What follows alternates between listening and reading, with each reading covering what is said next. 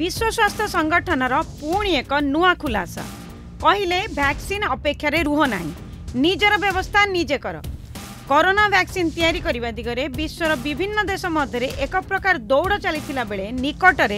Russia corona बाहर बाहार प्रथम देश रूपे सफलता लाभ गरिसिया सफलता परे विश्वर अनेक संक्रमित देश यो को यथाशीघ्र उपलब्ध गरेको तत्पर हुन्छ কিন্তু এনে বিশ্ব স্বাস্থ্য সংগঠনের প্রতিক্রিয়া কিছু ভিন্ন বিশ্ব স্বাস্থ্য সংগঠন কিন্তু যে দেশগুড়িক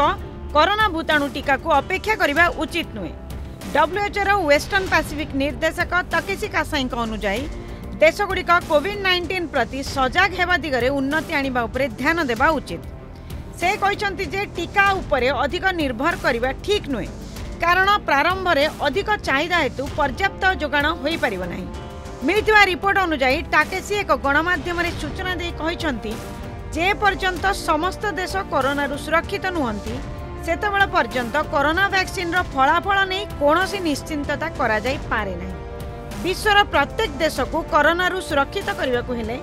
ଦରକାରୀ ମୁତାବକ ଭ୍ୟାକ୍ସିନ୍ର ଯୋଗାଣ ହେବା ସହ